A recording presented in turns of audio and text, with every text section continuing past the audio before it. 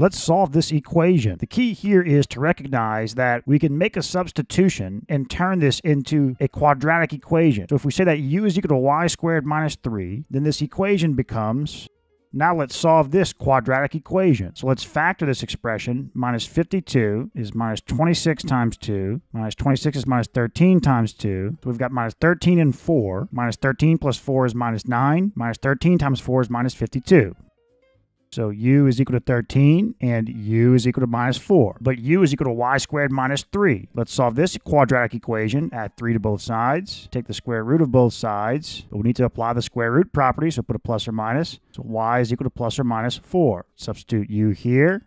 Now let's solve this quadratic equation. Add 3 to both sides. Minus 4 plus 3 is minus 1. This is plus or minus i. So the only real solutions are plus or minus 4, but there's also two imaginary solutions, plus or minus i.